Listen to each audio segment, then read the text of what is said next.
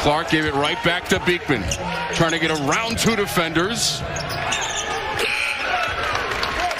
Nice penetration by Beekman. First basket of the game for Hall. That's Clark in a congested area. Beekman is the safety valve. Dropped it inside. Good looking play. And Gardner goes off the square. You see a lot of times, the little guy being able to fit it up there with the little runner.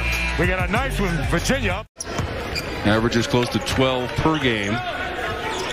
Tied for the team lead in that game at Syracuse with Clark with 17 points. And he was 3 of 9 from long distance. He does so well as being able to contain the dribble and not allow frequent blow-bys. You see another move and a finish by Gardner. Stattmann, three ball. Nice jump shot by Stattmann.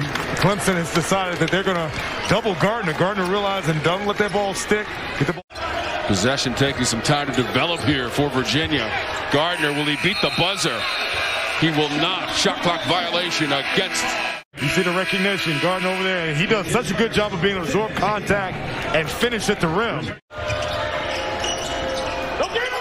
Shot clock to eight. Gardner. Oh, Inside baby. Caffaro. Caffaro putting it down. Points now to tie a season high after the jam from Caffaro. And you saw the recognition by Gardner on the double team. Realized he had Caffaro a lot.